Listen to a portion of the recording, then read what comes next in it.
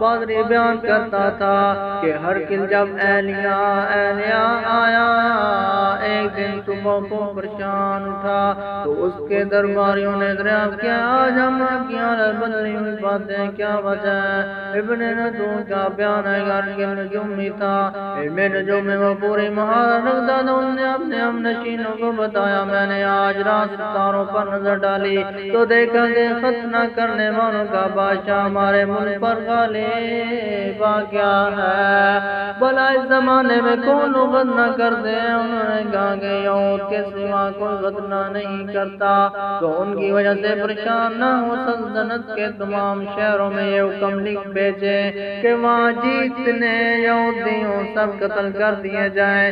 وہ لوگ انہیں باتوں پہ مشغول تھے کہ ہر کل کے پاس ایک آدمی لایا گیا، جسے شاہ غسان نے بھیجا تھا۔ اس نے رسول اللہ صلی اللہ علیہ وآلہ وسلم کے حالات بیان کیے۔ جب ارکل نے سارے حالات لیے تو کہا کہ جا کر دیکھو، وہ ختنہ کی ہوئے ہیں یا نہیں، انہوں نے کہا، اس سے دیکھا تو بتلایا کہ وہ ختنہ کیا ہوا ہے۔ ارکل نے جب اس شخص کے عرب کے بارے میں پوچھا تو اس نے بتلایا کہ وہ ختنہ کرتے ہیں۔ تب ارکل نے کہا کہ یہی محمد صلی اللہ علیہ وآلہ وسلم اس امت کے بادشاہ ہیں۔ جو پیدا ہو چکے ہیں، پھر اس نے اپنے دوست کو رومیہ خط لکھا اور وہ بیل میں نجوم میں ارکل کی طرح نامہ تھا پھر وہاں سے اڑ کے ہم چلا گیا